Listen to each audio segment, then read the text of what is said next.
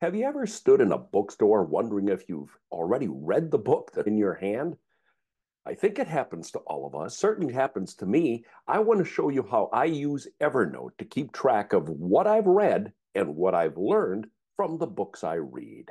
Hi, I'm Dave Edwards. Please subscribe to the series so you won't miss any future episodes. I read a fair number of books every year, and not only do I sometimes struggle to remember what I've learned from some of the books, but it's even mm-hmm. hard for me to remember if I've read a book I see or hear about. I mean, after a couple of years, it's easy to forget what you've read. So I use Evernote to help me.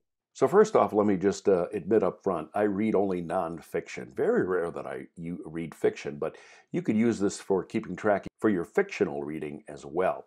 So my list of notebooks in my demo account, notice I have a notebook called Book Notes. This is home base. In it, if we click on it, you will see that I have a note marked reading list. So let's open this one up. It's a simple table, as you can see. Uh, it has several columns. Year, that's the year that I read the book, not the year that it was published, uh, because I find this most valuable to keep track of when I read things, not necessarily when they were published. Then the title of the book, the author or authors, the number of pages. I like to keep track of how many pages I read every year. And then I like to categorize them. What category do they fit in?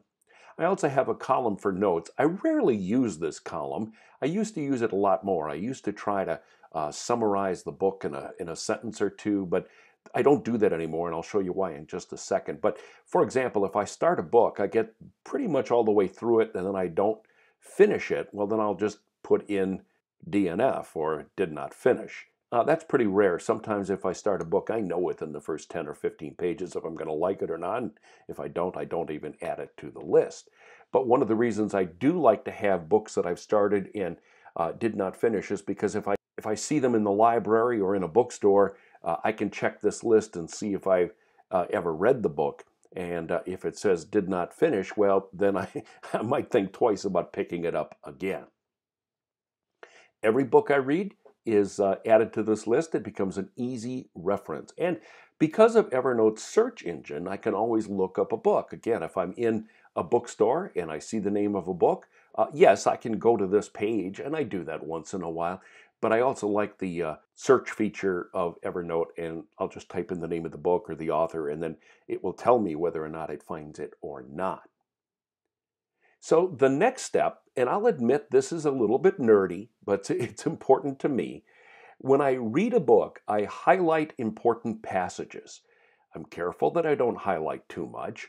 I read mostly on my Kindle. That's for convenience. I can read wherever I am. And at the end of each chapter, I use the note feature to capture the main themes of that chapter in the Kindle Notes section.